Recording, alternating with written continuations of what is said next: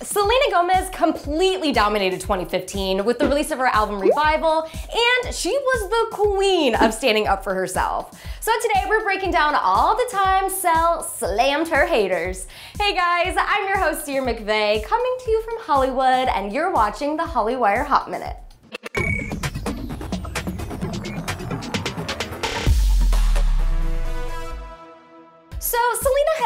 Always been such an inspirational person, and this year, she taught us all to stand up for ourselves no matter what.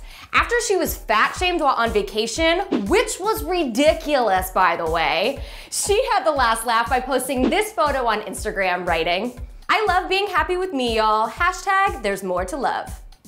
Cause I just wanna look good for you, good for you, uh-uh. I just wanna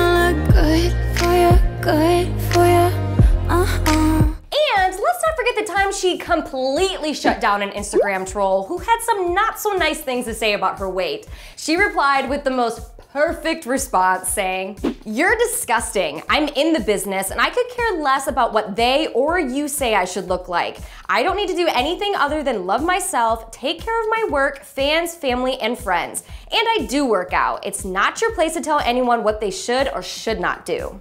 Yes, girl! Selena even told Billboard magazine that all of the hate and fake tabloid stories that surround her just aren't fair. She said, I'm so nice to everybody and everyone is so vile to me. I've been working since I was seven. I've been a UNICEF ambassador since I was 17. It's so disappointing that I've become a tabloid story. The hate motivated me. Amazing, right? Well, once her Revival album cover came out where she stripped down and looked flawless, of course more opinions came her way. But since Sel is queen, she had this to say.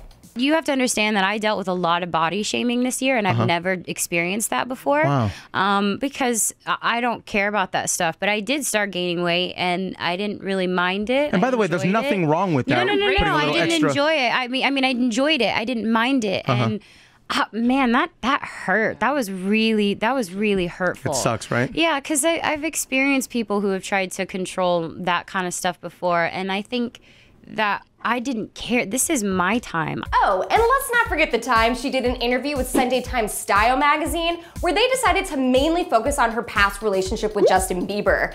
Guys, let's just say that Selena was not too happy about it and she tweeted, Disappointing seeing interviews I've done recently that sound like the exact same interview I did when I was 16. Print type who I am now and stop being afraid I won't give. And it was just recently that rumors of her lip syncing at the Victoria's Secret fashion show started floating around. So how did she respond to the backlash?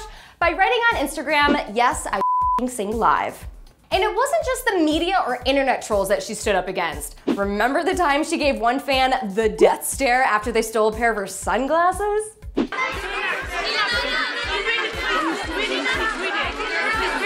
Death stare you guys, now I gotta know, what's something you learned from Selena this year? Let me know in the comments section below. Don't forget to subscribe to Hollywire TV, and last but not least, like and favorite this video. For Hollywire.com, I'm Ciara McVeigh, and I'll see you guys later. All right, you guys, to catch up on all of our hot minutes, go ahead and click the box on the left, and for even more news on Queen Selena, click the box on the right. And make sure you subscribe.